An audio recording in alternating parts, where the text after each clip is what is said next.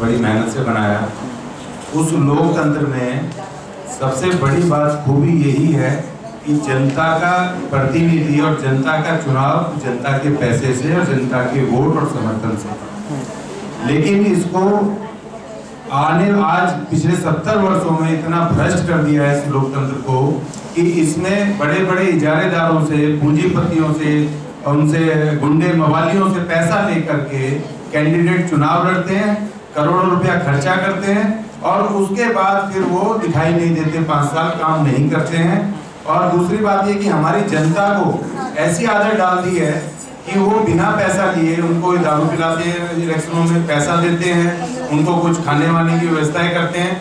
खाली उस दस पाँच दिन के उस खाने में, उस पैसे में वो तमाम वोट ऐसे चला जाता है फिर पाँच साल हम रोते रहते हैं। तो अब ये जो हमारी जो ये मूवमेंट है ये मूवमेंट हमारा ये भी है कि हमें सही लोकतंत्र को स्थापित करना है। और जो बिल्कुल राइट लोकतंत्र की जो परिभाषा है जो बाबा साहब कहते थे कि आप जनता के प्रतिनिधि हो तो जनता के पैसे से उससे चंदा मांग करके उससे चंदा और वोट मांग करके आप चुनाव लड़ो और वही हम यहाँ करेंगे।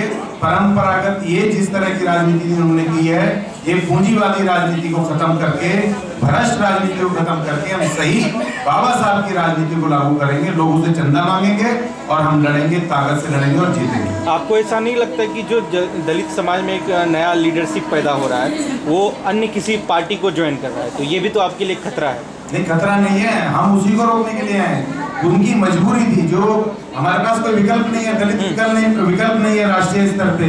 हमारे पास कोई विकल्प नहीं था।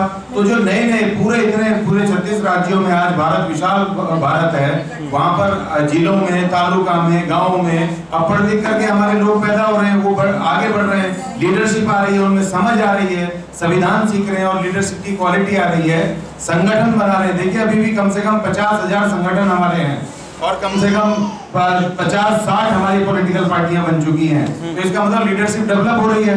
तो उनको अभी हम थे नहीं मैदान में तो कहीं ना कहीं तो जाएँगे वो। किसी राजनीतिक पार्टी के पास जाएँगे एक अलग पार्टी जो मनुवादियों की है।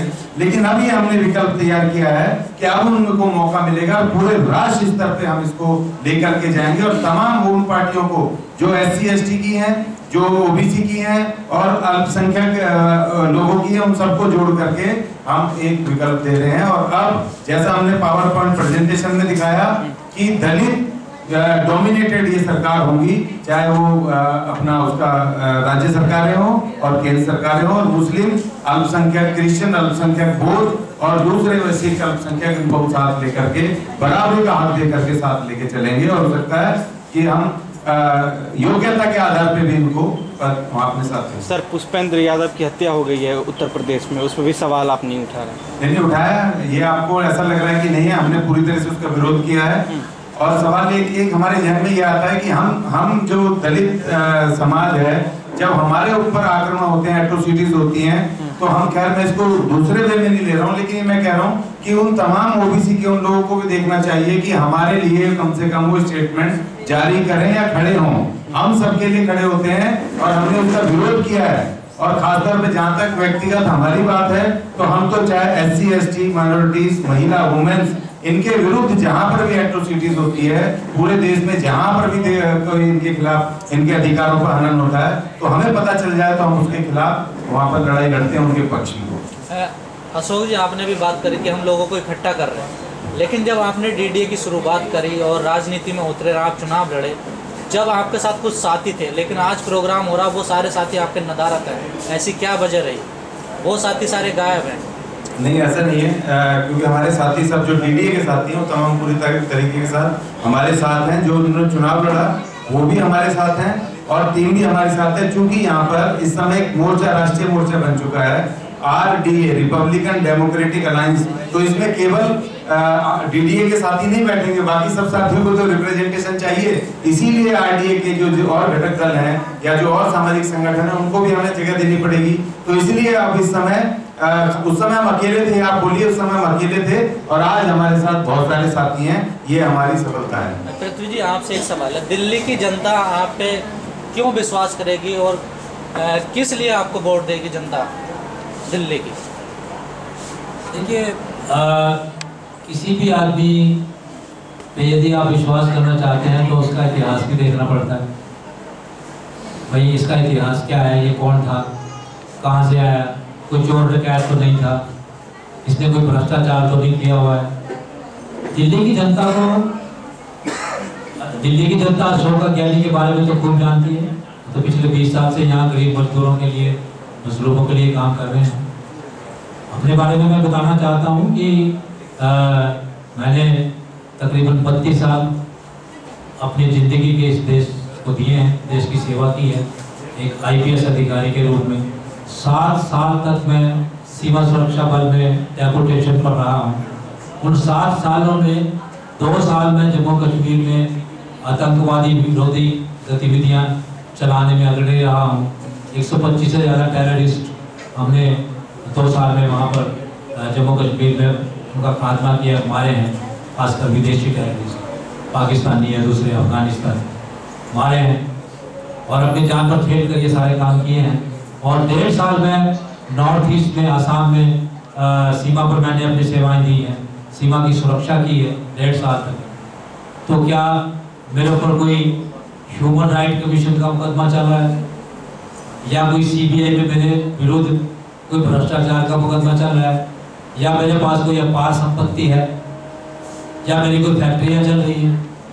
मैंने बत्तीस साल तक पूरी ईमानदारी से इस देश की सेवा की है और जहाँ जहाँ पे मुझे मौका मिला है, अपने दबे कुचले समाज का खुलकर बिल्कुल ओपन तरीके से साथ दिया है। उनको न्याय दिलाने में पूरा, पूरी भूमिका निभाई है। तो विश्वास करने के लिए इस तरह का इतिहास देखा जाना ज़रूरी है। तो क्यों नहीं? जब हमने आज तक देश की सेवा की है दिल से सेवा की है तो आगे हम जनता की सेवा क्यों नहीं करेंगे भाई? हमारे दिल में है अदरवाइज़ तो हम घर भी बैठ सकते हैं, आराम की ज़िंदगी व्यतीत कर सकते हैं, हम तो रिटायर्ड लोग हैं। हमारे पास कोई खाने पीने की कमी नहीं, हमें पेंशन मिलती है। हम क्यों जनता के बीच में जा रहे हैं? क्यों गलियों में घूम रहे हैं? क्योंकि इस देश के जो वंचित लोग हैं जिनके विरुद्ध जातीय हिंसा होती है जो दबे कुचले लोग उनके प्रति हमारे दिल में दया है दर्द है उनके लिए उनके कल्याण के लिए हम कुछ कार्य करना चाहते हैं। सुलेमान जी सेवेंटी प्लस हैं कानपुर से हैं। सर एक सवाल क्या लोग आपसे सवाल नहीं करेंगे कि रिटायरमेंट के बाद ही आपको समाज की याद आई? उससे पहले क्यों नहीं आई समाज की याद? ये- जैसे अशोक अज्ञानी जी हैं फ्री में केस लड़ते हैं लोगों के या एनजीओ भी चलाते हैं मदद करते हैं लोगों की। लेकिन आपके ऊपर ये सवाल उठेगा? ये ये एक बड़ा, इसमें एक बड़ा खिसा पीटा सवाल समझता हूँ खिसा पीटा। ठीक है? जो लोग मुझसे सवाल पूछते हैं।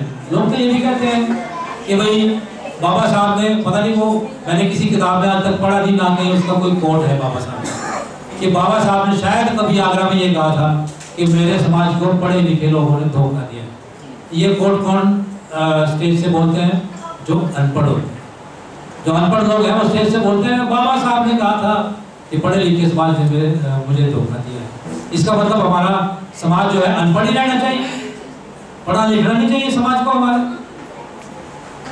क्या किसी को पता नहीं है कि मैंने हिमाचल में तीस साल अपनी सेवाएँ दी और वहाँ के लोगों की किस प्रकार भरपूर जो दबे कुचले लोग हैं, सबसे ज़्यादा इस देश के अंदर छुआछूत हिमाचल के अंदर है, आज की तारीख में इस प्रकार मैंने उनकी सहायता की, उनको इंसाफ दिलवाया पता है लोगों को?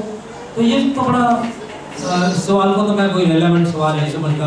और अगर अगर मान लो साठ साल के बाद भी मेरे दिल में एक दया आ रही है या मेरे दिल में एक उमंग जाती है कि मैं अपने समाज के लिए कुछ करूँ तो क्यों नहीं?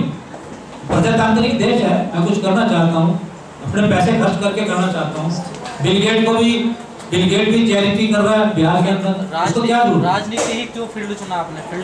राजनीति इसलिए चुना क्योंकि राजनीति ही हमारे महापुरुषों ने हमको सिखाया। बाबा साहब ने कहा है कि जब तक सत्ता की चाबी आपके हाथ में नहीं होगी, आप अपने समाज का भला नहीं कर सकते। वरना तो आप भिखारी हैं। आप यहाँ पे आंदोलन कर लो, जंतर मंतर के ऊपर नारे लगा लो, उसके बाद आप क्या करोगे? एक ज्ञापन दोगे राष्ट्रपति को हैं? उसमें भीख मांगोगे, हमें ये दे दो, हमारा ये कर दो, हमारा मंदिर बना दो, हमारा मंदिर तोड़ दिया, सुप्रीम कोर्ट ने रविदास मंदिर तोड़ दिया, उसको बना दो। तो भिखारी हैं क्या हम लोग? हम अपना मंदिर खुद बनाएँगे ना? क्यों बनवाए हम किसी से अपना मंदिर हम सत्ता में आएँगे और अपना भव्य मंदिर। राम मंदिर से भी बढ़िया बनाएँगे। मेरा सवाल सलमान साहब से है। ठीक है ये थोड़ा इधर उधर आपसे ये जानना चाह रहा हूँ जैसे अभी आपने कहा कि इतर गुलाम जो आ, लोगों के द्वारा वो लोग चुने गए थे और हम में से ही निकल के गए हैं हमारे समाज के हमारे समुदाय के। लेकिन अभी जब आप इस एक कवायद आपने शुरू की है तो क्या गारंटी है कि हम में से जो हम अब चुनेंगे, या क्या जनता देखे कि वो ऐसा ना करे? किस तरीके के छवि के इंसान को, या क्या उसमें आप सुझाव दीजिए? आप देखिए, समाज तेज़ी से जाग रहा है। मैं एक वाक्य 1970 का आपको बताता हूँ, आपके पिताजी का बचपना होगा सन 1970 में हम लोगों ने उत्तर प्रदेश में दलित मुस्लिम मिली जुली राजनीति शुरू की थी। और पहला लोकसभा का चुनाव लड़े थे। अड़सठ उनहत्तर में लड़े विधानसभा। बता रहा हूँ मैं, हम लोग मिलकर लड़े बारह आरपीआई के मिले और पाँच मुस्लिम मजलिस के मिले जीते। और सत्तर में हमने दो आरपीआई के एमपी जीता है। समाज नहीं खड़ा हुआ था, नेता खड़ा कर दिए थे। सारे नेता चले गए। डीपी महोदया जी, इंदिरा जी की कैबिनेट में चले गए। समाज खड़ा नहीं था, इसलिए समाज ने पूछा नहीं। आज आप जैसा समाज खड़ा है। आज ये उदित राज से पूछ रहा है। वहाँ मायावती जो मैंने कहा, दलित की बजाय बेटी की दौलत की हो गई तो किसी ने शेर नहीं कहा। अप्रिशिएट किया। इसके वजह समाज जाग रहा है। जैसे जैसे समाज जागेगा, वैसे वैसे इस तरह के अवसरवादी कम पैदा होंगे। एक बात। दूसरी बात, समाज का प्रारूप बृहद हो रहा है। पहले उन्नीस सौ अड़सठ में हम लोगों ने यूपी तक शुरू किया था। आज कहाँ बैठे हुए हैं? देश की राजधानी दिल्ली में बैठे हुए हैं। इसका पैगाम पूरे राष्ट्र को जाने वाला है।